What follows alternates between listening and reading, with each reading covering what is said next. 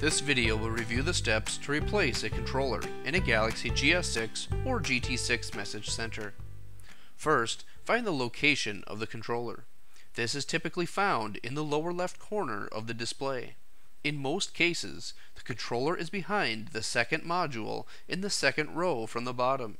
Reference the drawings and illustrations in your display manual for further details.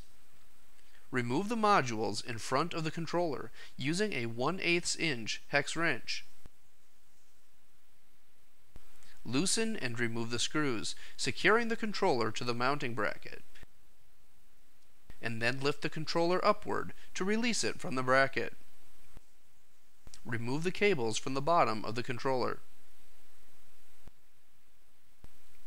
Lift the controller up and angle it outward to remove it from the display.